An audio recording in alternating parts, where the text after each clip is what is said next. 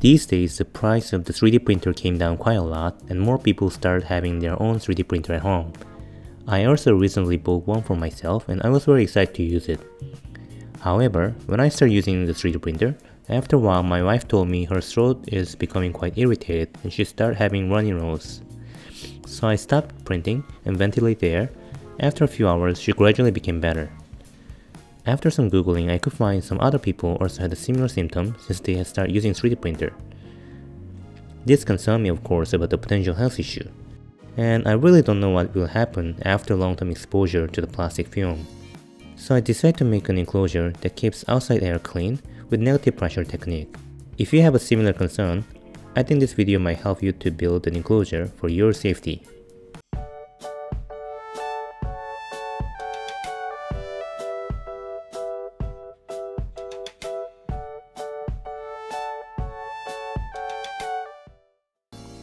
In this video, I'm going to explain what negative pressure means first, then I'll show you the steps to build the enclosure.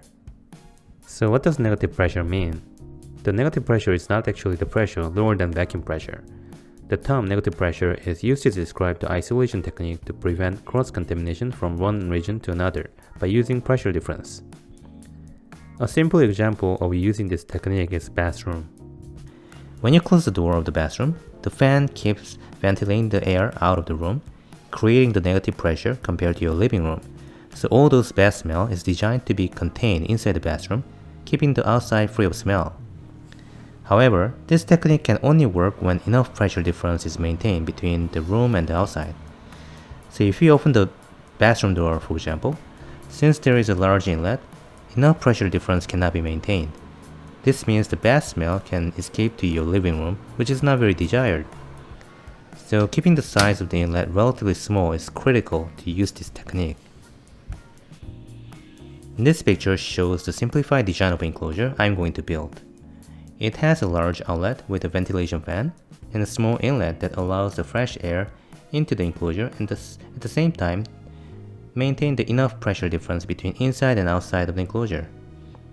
Even if there is a little gap around the enclosure, as long as enough pressure difference is maintained, the air always flow into the enclosure.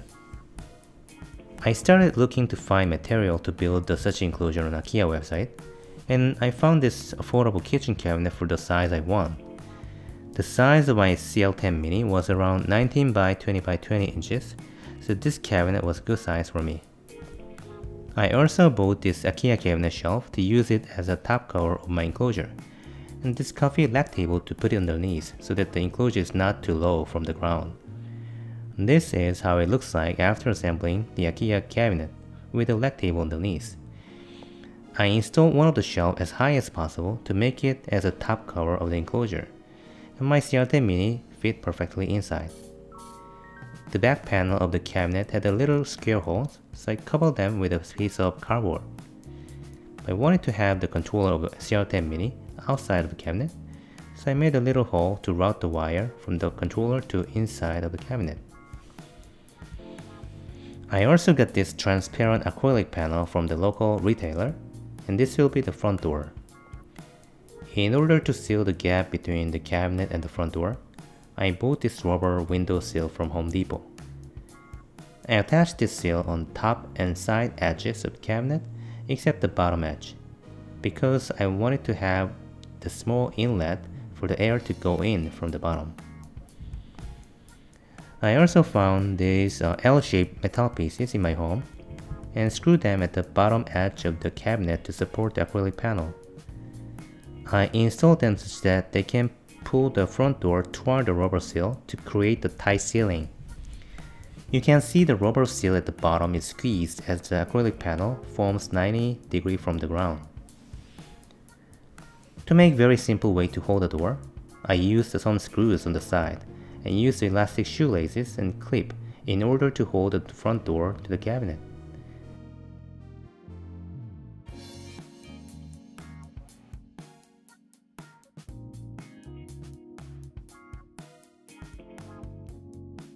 This is how to open the door.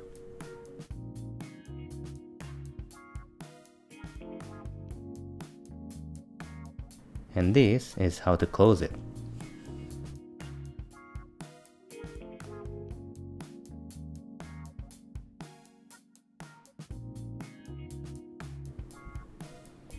Now, it's time to cut the exhaust hole on the top cover of the cabinet.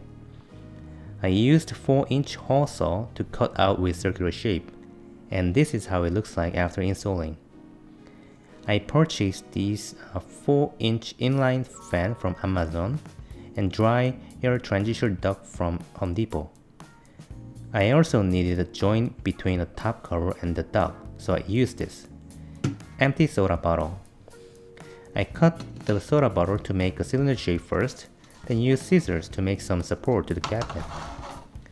Since the diameter of the soda bottle was slightly larger than 4 inch hole, I had to cut it and adjust the size and fixed it with the tape which came along with CR-10 Mini.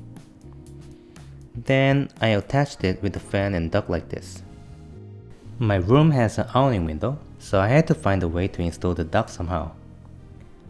I got this white hardwood panel from Home Depot to block the window and also got this duct to wall connector as well. I didn't use soda bottle for this because I want this connector to be stronger, so I just purchased it. I probably could have printed one with my 3D printer. I cut the hardwood to fit to my window and made a 4 inch hole with a hole saw. Then I installed the female piece of the connector to the hardwood panel, and male part of the connector to the duct, and I secured it to the window. I attached the duct to the fan and taped it. This is how it looks like after installing them. Ideally, when there is such a sharp 90 degree angle, the airflow speed decreases because of friction. But as long as the fan is strong enough to maintain the negative pressure inside the enclosure, I think it's okay. I'll probably try to improve duct design in the future video. I used two screws to install filament spool holder on the top of the cabinet, and I made a little hole to route the filament to the 3D printer inside the cabinet. Now we are almost done. I bought this LED spotlight from IKEA and thermometer from Home Depot and I installed them in the enclosure. This is how the completed enclosure looks like with LED on.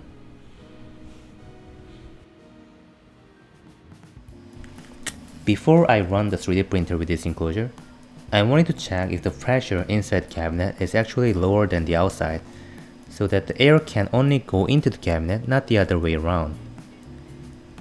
So I did a little test with smoke and this is the result.